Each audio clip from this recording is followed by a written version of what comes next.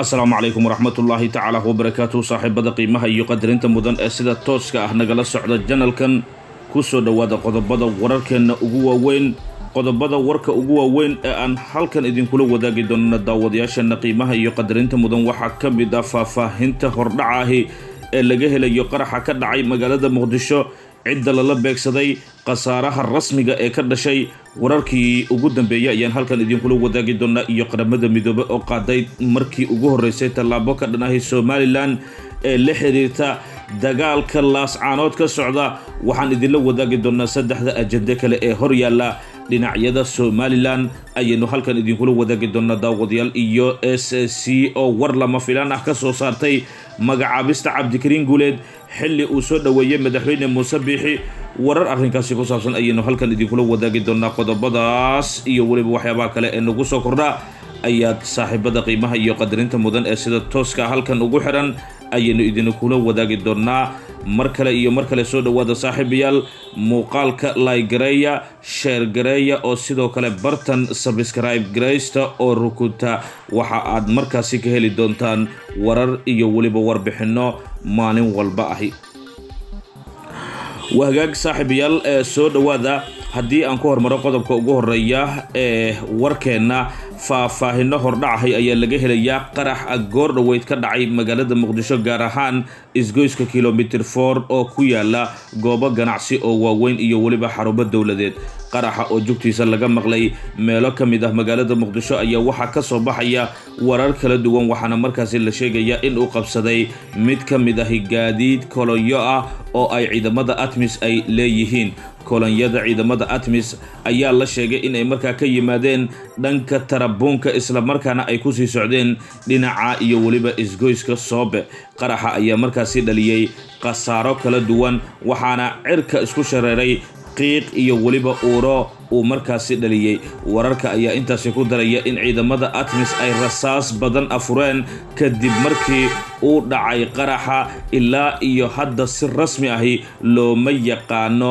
markaa khasaaraha rasmiga ee ka dhashay rasaasta ay fureen ciidamada. Hase yeeshee waxaa gebi ahaanba hadda markaasi xidhan waddooyinka ee soo gala isgoyska kilomitir for waxaana hakad ah ku jira isku socodka dadka iyo weliba gaadiidka sida dhinacyo kala duwan xilligan ay tibaaxayaan. Lama yaqaan sida uu markaasi xaal noqon doono inkastoo ciidamada atmis dhankooda la soo warinayo in qaraxa kadib khasaaro kala duwan ay u geysteen dhinacyada halkaasi ku sugnaa ee dadka shacabka ahi iyadoona markaa maalmihii ugu dambeeyey atmis ay wajahaysay eedeemo waaweyn oo markaasi shacabka soomaaliyeed iyagu ay kula kaceen dembiyo sida dhinacyo kala duwan oo hay'ado markaasi ka howlgala dalka iyagu warbixinno ay gudbiyeen lagu xaqiijiyey. Wahagaag markana waxaynu eegi doonaa hay'adaha qaramada midoobey ayaa qaaday markaasi xilligan waxa ay bilaabeen in gargaarka gobollada s c oo hore markaasi loo marsiin jiray dhinaca somalilan ay u wareejiyaan dhinaca iyo weliba puntland xilli ay sii xoogaysatay xiisada dagaal ee xukuumadda somalilan iyo weliba s c. Sida aan markaasi ogaanay arrintan ayaa timid kadib markii tirakoob la sameeyey ay soo baxday in dadkii ku barakacay colaada laascanood badi ay ku sugan yihiin garowe iyo weliba deegaanada kale ee hoostaga gobolka sool oo ay gacanta ku hayso s c oo iyadu markaasi diiday in dadkeeda gargaar loo marsiiyo somalilan hay'adda unisef ee qaramada midoobay ayaa shalay markaas saddex gaari oo xamuul waday. Gargaar isugu jira daawo iyo weliba qalab nadaafada geysay. Magaalada garowe si loo gaarsiiyo xarumaha caafimaad ee bulshooyinka kaas markaa oo ka barakacay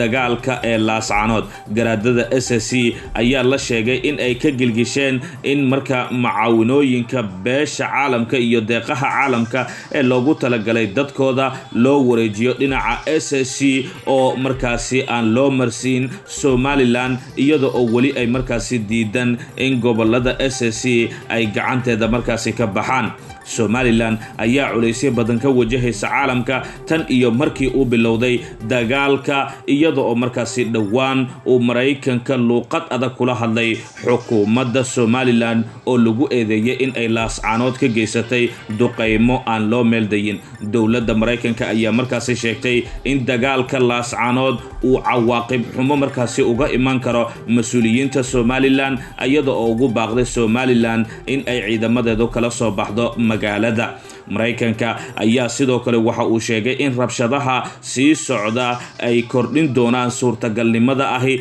in kooxaha xag jirka ahi ay abuuraan xasilooni darro ballaaran oo markaa uga sii dari doonta dhibaatada bini-aadinimo ee hadda jirta. Si kastaba somalilan ayaa ku andacoonayso in caalamka uu rumaystay hadallada iyo weliba ee dhawaaqyada ee ka soo yeeraya dhinaca ee ka soo horjeeda ee puntland iyo weliba s c oo iyagu markaasi labadii bilood ee dagaalka socday weerar ku ahaa ciidamada somalilan oo ay sheegtay in ay markaasi ku koobnaayeen isdifaac waxaana somalilan marar badan afkeeda markaasi laga fujin waayey in ay isdifaacayaan oo dhankoodu marnaba aysan weerar qaadin xilli lagu eedeynayo in weerarka u badan dhinaca iyo weliba somalilan dhankeedu ay soo qaado qaybihii ugu dambeeyey ee wararka ayaynu markaasi saaxiibayaal isla soo gaarnay iyada oo markaasi inta badan laga falceliyey magacaabidda ee cabdikariim xuseen guuleed oo ergeyga markaasi ee somalilan dowladda soomaaliya ee u magacowday ah ayaa waxaa goordhow arrinkaasi siyaabo kala duwan uga hadlay isimada dhaqanka ee s c. Waxa ayna markaasi si toosa u dureen magacaabista cabdikariim xuseen guuleed oo haatan noqday ergeyga arrimaha ee somalilan kadib markii uu maalin ka hor magacaabay madaxweyne xasan sheekh maxamuud s c ayaa marka hore shaacisay in ay soo dhoweynayso magacaabista cabdikariim guuleed oo horey markaasi uga soo shaqeeyo wadahadalada soomaaliya iyo weliba somalilan balse waxay isimadu sheegeen in arrintan aysan qusayn xiisada magaalada laascaanood oo aysan markaas soo faragelin karin. Mid ka mid a isimada dhaqanka oo lagu magacaabo garaad saleebaan ayaa xusay in dhankoodu aysan wax shaqo ah markaasi ku lahayn wadahadaladaasi balse ay guul u rajaynayaan sidoo kale waxa uu intaasi ku daray in iyagu ay doonayaan sidii ay uga sii mid ahaan lahaayeen soomaaliya si ay dadkooda iyo weliba ee walaalahoodu wax ula qaybsadaan ayuu yidhi. Dhankiisa waxaa horay magacaabista cabdikariim guuleed ee horay u soo dhoweeyey madaxweyne muuse biixi cabdi isaga oo markaa ku tilmaamay tallaabo wanaagsan oo horey loo qaaday dhanka wadahadalada soomaaliya iyo weliba somalilan. Si kastaba cabdikariim guuleed xilligii uu ahaa wasiirka arrimaha gudaha ee soomaaliya ayaa si deg waxaa markaasi loo rajeynayay in laga midho dhaliyo oo ay ku socdeen wadahadalada soomaaliya iyo somalilan oo hakad markii markaasi xukunku ay wareejiyeen. Xasan sheekh iyo xulafadiisa hakad galay. Sida dhinacyo kala duwanna ay tibaaxayaan xilligan inta badan dadka yaqaana guuleed ay ku tilmaameen nin ka dhalin kara wadahadalada guud ahaan saaxiibada qiimaha iyo qadarinta mudan ee sida tooska ah nagala socday bartan daawadayaal waa naga intaa wararkii aan halkan idinkula wadaagnay. Muuqaalka inoo like gareeya sabscribe dhaha janalka sidoo kale sii sheer gareeya wararkan. Tan iyo kulan dambe nabadgelyo